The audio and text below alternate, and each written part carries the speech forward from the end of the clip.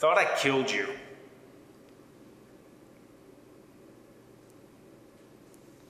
No. Another job, half done.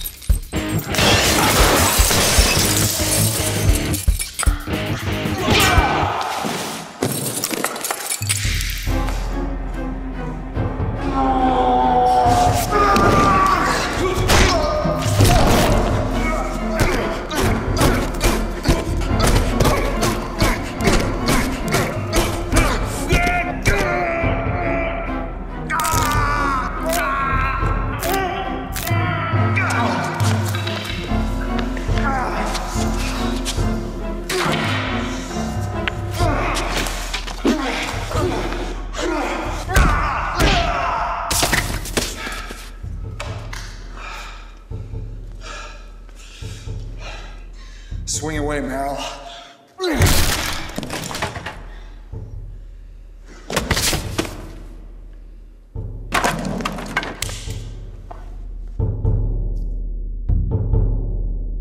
Channing, where's Mark? Anna and I are very concerned.